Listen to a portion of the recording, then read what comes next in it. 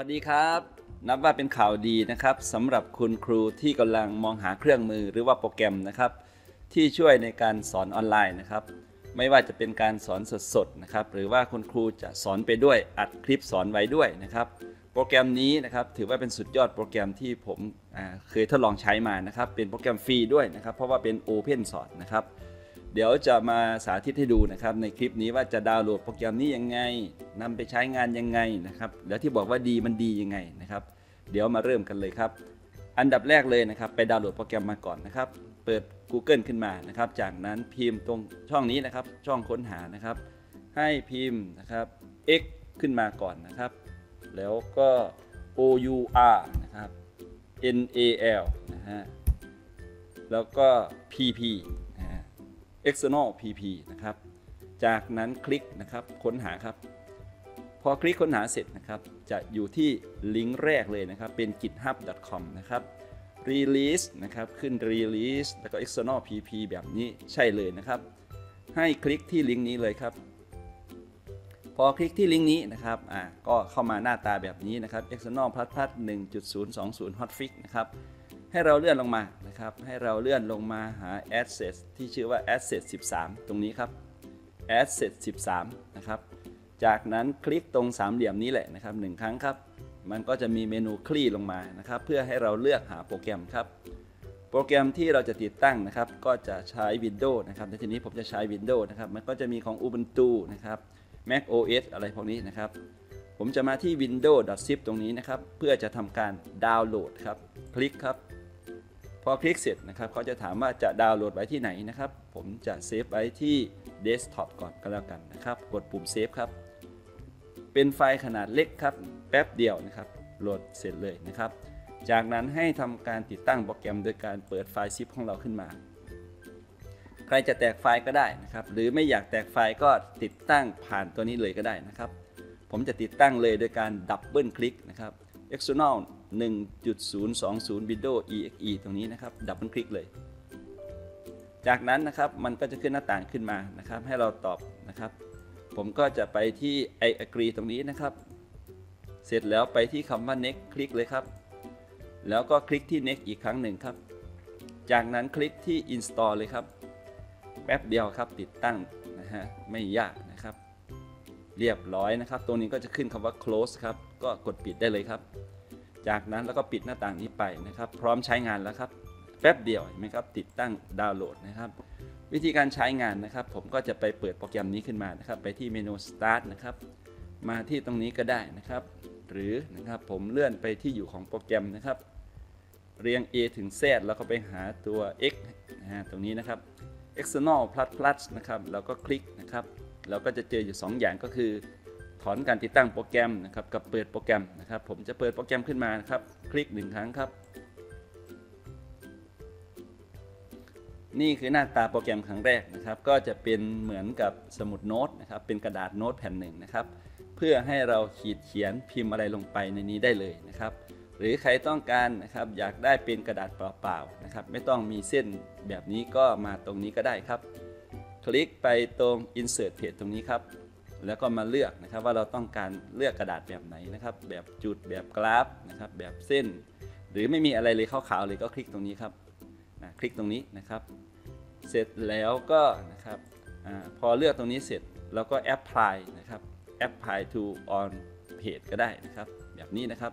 มันก็จะได้เป็นกระดาษขาวๆธรรมดานะฮะทีนี้เราจะมาเรียนรู้เครื่องมือต่างๆนะครับ ว่ามันใช้งานง่ายอย่างไรนะครับ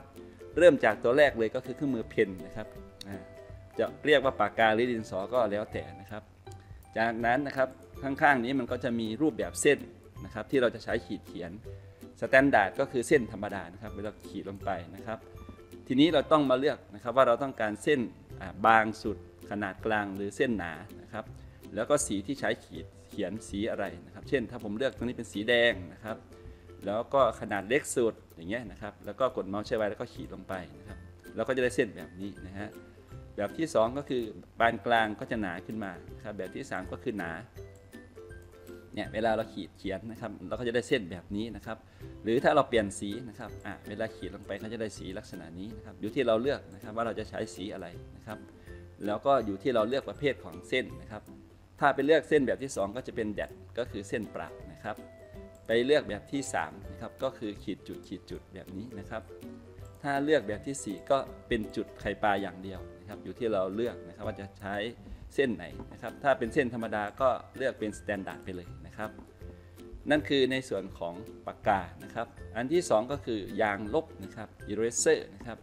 ถ้าเราคลิกที่ยางลบนะครับ แล้วก็มาลบมันจะเป็นรูปร่างสี่เหลี่ยมแบบนี้นะครับ กดเมาส์แช่ไว้นะครับก็ลบไปอย่างนี้นะครับ แล้วเครื่องมือยางลบก็จะมีสามเหลี่ยมให้เราเลือกเหมือนกันนะครับว่าลบแบบธรรมดา ลบแบบ liquid liquid ก็จะเป็นเหมือนกับเอาสีขาวนะครับไปเทอย่างเงี้ยนะครับเทสีขาวลงไปนะครับหรือ delete ตกก็คือลบเส้นนะครับแล้วแต่เราจะเลือกลบแบบไหนอย่างเงี้ยนะครับกดเมาส์แช่ไว้ลบๆๆอย่างนี้ก็ได้นะครับอย่างเงี้ยลบไปเลยนะครับไม่อยากได้ก็ลบลบลบอันนี้คือเครื่องมือยางลบทั่วไปธรรมดาไม่มีอะไรนะฮะ อันที่ 3 ก็คือไฮไลท์ครับ คลิกไปที่ไฮไลท์ไฮไลท์ก็คือการสร้างแถบสีนะครับ การไปเน้นนะครับข้อความเน้นรูปภาพอะไรสักอย่างหนึ่งก็ได้นะครับ นี่คือไฮไลท์จะไฮไลท์เล็กหรือใหญ่อยู่ที่เราเลือกเส้นด้วยนะครับที่เราเลือกเส้นแล้วก็เลือกสีนะครับจะไฮไลท์เป็นสีอะไรนะครับ อันนี้ก็ไปเลือกสีนะครับก็เป็นไฮไลท์นะครับอ่าทีนี้นะครับอันที่ 3 ก็คือรูปภาพนะครับตรงนี้นะครับ image นะครับวิธีการนะครับก็ คลิกไปที่ image นะครับ จากนั้นเอาเมาส์มาคลิกหน้าจอหนึ่งครั้งนะครับ มันก็จะเป็นการ open นะฮะ เมื่อเราเจอรูปที่เราต้องการแล้วนะครับ ให้เราดับเบิลคลิกนะครับไปที่ไฟล์รูปนะครับชื่อไฟล์นะครับ มันก็จะปรากฏขึ้นมาหน้าต่างแบบนี้นะครับ เวลาที่นะครับเรายังอยู่ในการเลือกรูปเนี่ยมันก็จะเลื่อนรูปได้ย่อขยายได้อะไรพวกนี้นะครับ ย่อขยายเลื่อนอะไรต่างๆได้นะครับ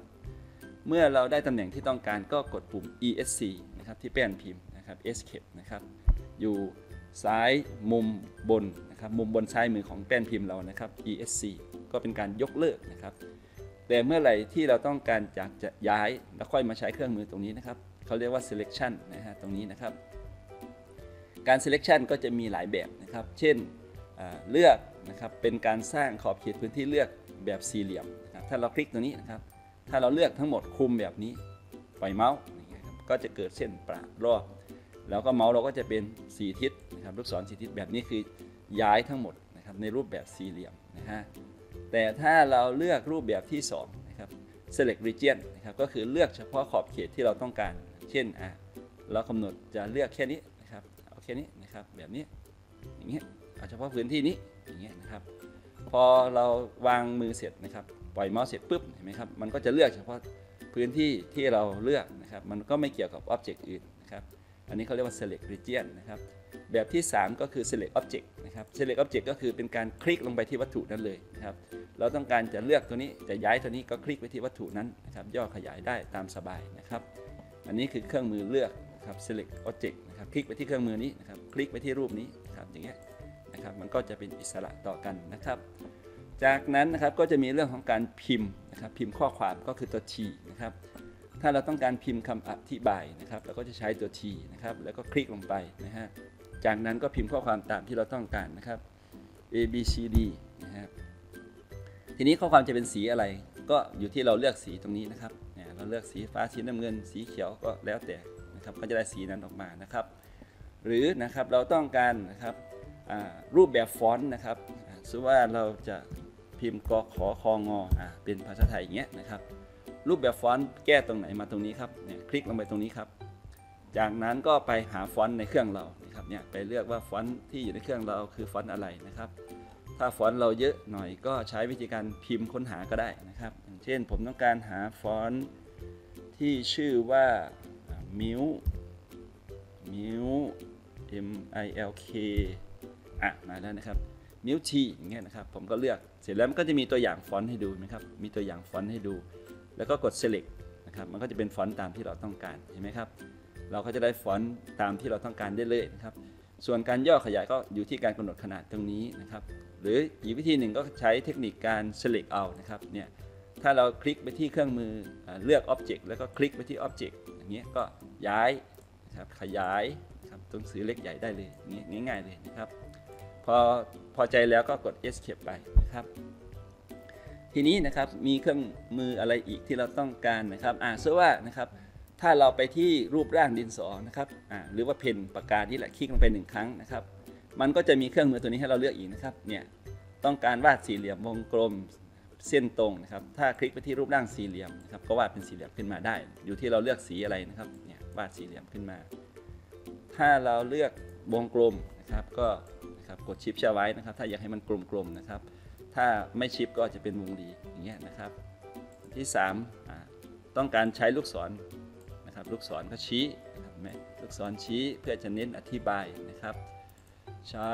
เส้นตรงเฉยๆก็ได้นะครับ ใช้เส้นตรงเส้นเอียงเฉยๆก็ได้นะครับ แล้วก็นะครับเส้นที่เป็นลักษณะนะครับเป็นเขาเรียกอะไรเป็นมุมมุมฉากเนาะอ่าแบบนี้นะครับวาดเส้นแบบนี้ก็ได้นะครับ ต่อเส้นไปเรื่อยๆอย่างนี้นะครับ อย่างนี้นะครับ อันนี้เป็นเป็นรูปร่างเครื่องมือที่เราสามารถที่จะใช้งานได้นะครับโอเคนะครับ ถ้าเรานะครับผมจะขอยกตัวอย่างที่สาธิตสักหนึ่งเรื่องเพราะว่าเราต้องการสอนออนไลน์นะครับ เดี๋ยวผมจะลบทั้งหมดนี้ก่อนนะครับ วิธีการง่ายสุดของผมก็คือเออเลือก Object ทั้งหมดนะครับ ผมจะใช้ตัวนี้เลยนะครับ rectangle นะครับ select คุมนะครับแบบนี้ แล้วผมก็ delete ที่แป้นพิมพ์ทิ้งไปเลยนะฮะ จากนั้นนะครับผมก็จะทำการเปิดไฟล์นะครับสมมติผมมีไฟล์แล้วนะครับ ผมสร้างเป็นไฟล์ PDF ไว้นะครับ ก็จะไปที่เมนูไฟล์นะครับ แล้วทำการ Open นะครับ แล้วก็เขาถามว่าที่คุณทำเมื่อกี้คุณจะเซฟไว้ไหม ผมก็จะ discard นะครับ ก็คือไม่เซฟนะครับ เสร็จแล้วผมก็จะไปเอาไฟล์นะครับระบบคอมพิวเตอร์ที่เราจะใช้สอนนะครับ ก็ดับเบิลคลิกเข้ามานะครับ จากนั้น document not save อ่าผมไม่เซฟอยู่แล้ว document ก็ลบออกไปเลยนะครับ อันนี้เป็นไฟล์ PDF นะครับ ที่ผมมีอยู่แล้วนะครับ เตรียมไว้เพื่อจะสอนออนไลน์อย่างนี้นะครับ จากนั้นนะครับเราจะอัดคลิปสอนหรือว่าเราจะนะครับสอนสดออนไลน์นะครับ ก็เริ่มสอนได้เลยครับ สวัสดีครับนักเรียนนะครับ วันนี้คุณครูก็จะมาอธิบายระบบการทำงานของคอมพิวเตอร์ หรือว่าองค์ประกอบของคอมพิวเตอร์ว่ามีส่วนประกอบอะไรบ้างนะครับ ดับแรกเลยนะครับ ในส่วนนี้เราเรียกว่า input นะครับ ทีนี้ผมก็จะไปเอาตัว t นะครับมาเพื่อจะพิมพ์คำว่า input ลงไปนะครับ แล้วก็คลิกลงไปแบบนี้นะครับ จากนั้นผมก็จะพิมพ์คำว่า input อย่างเงี้ยลงไปนะครับ ส่วนนี้เราเรียก input นะครับนักเรียนนะครับ ในส่วนของ input ประกอบไปด้วยนะครับ จากนั้นผมก็จะเริ่มใช้ปากกานะครับ หรือก็หรืออาจจะใช้เส้นก็ได้นะครับ ประกอบไปด้วยนะครับอุปกรณ์นำเข้านะครับ ตัวนี้เราเรียกว่าคีย์บอร์ดหรือแป้นพิมพ์นะครับ คีย์บอร์ดมีตัวอะไรบ้าง คุณครูก็นะครับพิมพ์ลงไปแบบนี้นะครับ คีย์บอร์ดนะฮะอย่างเงี้ยนะครับคุณครูก็อธิบายลงไปชี้ลงไปนะครับ จากนั้นนะครับส่วนที่2นะครับก็คือนะครับส่วนที่เป็น Input อันที่ 2 ได้แก่นะครับคุณครูก็ มาคลิกลูกศรนะครับ แล้วก็ชี้ลงไปนะครับ นี่คือเราเรียกว่าสแกนเนอร์นะครับนักเรียนนะครับ หรือคุณครูก็จะพิมพ์เหมือนเดิมนะครับ อย่างเงี้ยนะฮะสแกนเนอร์คีย์บอร์ดนะครับเป็นส่วนประกอบของ Input นะครับตรงนี้เรียกว่าอะไรครับนักเรียนนะครับคุณครูก็ชี้ลงไปนะครับ นักเรียนช่วยกันตอบสินะครับ จากนั้นคุณครูก็เฉลยใช้ตัว T มานะครับ อันนี้เราเรียกว่าจอยนะครับสติ๊กนะครับนักเรียนนะฮะอย่างเงี้ยนะครับคุณครูก็สอนไปนะครับ จอยสติ๊กนะครับเป็นอุปกรณ์นำเข้านะครับ และตัวนี้คืออะไรนะครับ ตรงนี้ก็จะเป็นกล้องเว็บแคมอย่างเงี้ยนะครับ นักเรียนก็นะฮะตอบนะคุณครูก็ชี้อธิบายนะครับ เสร็จแล้วนะครับ ตัวไหนที่พิมพ์ก็ใช้ตัว T มานะครับ แล้วก็พิมพ์นะฮะอย่างเงี้ยนะครับ อธิบายไปนะฮะทีนี้นะครับในส่วนนี้นะครับเราเรียกว่า CPU นะครับ CPU คือหน่วยประมวลผลกลางนะครับ แล้วก็คุณครูอธิบายอีกนะครับ ส่วนนี้ก็คือ output อ่าคุณครูก็พูดไปเรื่อยๆอธิบายไปสอนไปอย่างนี้นะครับ ตรงนี้ก็คืออะไรนักเรียนนะครับคือมอนิเตอร์นะฮะก็คือจอภาพนะครับทำหน้าที่แสดงผลนะครับแล้วก็มีปรินเตอร์นะครับนักเรียนนะครับปรินเตอร์นะครับแล้วก็มีอะไรอีกครับนักเรียนภาพนี้คืออะไรนะครับโปรเจคเตอร์อย่างเงี้ยนะครับ คุณครูก็พิมพ์ไปสอนไปเนาะอ่าตัวนี้และอีกตัวหนึ่งก็คือลำโพงนะครับ speaker นะครับเป็นหน่วยส่งออกนะครับ จากนั้นคุณครูก็เริ่มนะครับใช้พวกนะครับเครื่องมือขีดเขียนนะครับ เพื่อจะอธิบายซ้ำลงไปอีกนะครับอ่าใช้เครื่องมือขีดเขียนโดยนะฮะตรงนี้ก็ยกเลิกเนาะเวลาเราจะขีดจะเขียนนะครับ อย่างนี้ก็ใช้หรือไฮไลท์นะครับคุณครูก็มาใช้ไฮไลท์นะครับตรงนี้นะครับ สแกนเนอร์นะฮะพวกนี้นะครับเป็น Input คุณครูก็สอนไปนะครับขีดเขียนไปแบบนี้นะครับ เมื่อเราทำแบบนี้เสร็จนะครับ มันก็จะถ้าเป็นการอัดหน้าจอไว้นะครับ เราก็จะได้คลิปสอนคลิปหนึ่งพอดีเลยนะครับ แต่ถ้าเป็นการสอนสดนะครับ หรือว่าสอนแบบผ่านซูมผ่านมีดนะฮะขณะที่มีนักเรียนกำลังนั่งฟังอยู่ในห้องเขาก็จะเห็นนะครับ เห็นการอธิบายของเราเห็นการไฮไลท์เห็นการพิมพ์ข้อความอธิบายของเราแบบนี้นะครับ เมื่อทำเสร็จนะครับคุณครูจะ save ไว้ก็ได้นะครับก็คลิกตรงนี้นะครับ จะ save ไฟล์นี้ไว้นะครับก็ได้หรือไม่ save ก็ไม่เป็นไรนะครับ เวลาเราจะสอนเราค่อยเปิดไฟล์เดิมขึ้นมาอธิบายอีกอย่างนี้ก็ได้นะครับ จริงๆ มันสามารถที่จะอัดเสียงตรงนี้ก็ได้นะครับ record เสียงไว้ก็ได้นะครับ เป็นไฟล์เสียงนะครับ แล้วก็ปุ่มนี้ก็คือการเต็มจออะคือซ่อนเมนูนะครับตรงนี้นะครับ ถ้าเรามีหลายหน้านะครับ กรณีที่เรามีหลายหน้าแบบนี้นะครับ ปุ่มนี้จะเป็นการลบนะฮะตัวนี้จะเป็นการลบหน้านะฮะลบหน้าที่ไม่ต้องการออกอย่างนี้นะครับ อันนี้ก็คือนะครับโปรแกรมฟรีนะครับ External นะครับ PP นะครับที่ผมคิดว่านะครับเหมาะสมในยุคนี้เลยนะครับ ในยุค Next Normal ที่ครูจะต้องสอนสดออนไลน์ หรือว่าครูจะต้องอัดคลิปสอนนะครับ ขอให้คุณครูแค่มีเนื้อหามีรูปนะครับ หรือมีกระดาษเปล่าๆ คุณครูก็สามารถที่จะ สอนได้เลยนะครับสอนสดๆหรืออัดคลิปสอนได้เลยนะครับยังไงก็ไปลองใช้กันดูนะครับ ขอแนะนำเลยโปรแกรมนี้เยี่ยมมากๆนะครับ คุณครูอภิวัตก็ชอบนะครับ พบกันใหม่ในคลิปหน้านะครับสำหรับคลิปนี้ สวัสดีครับ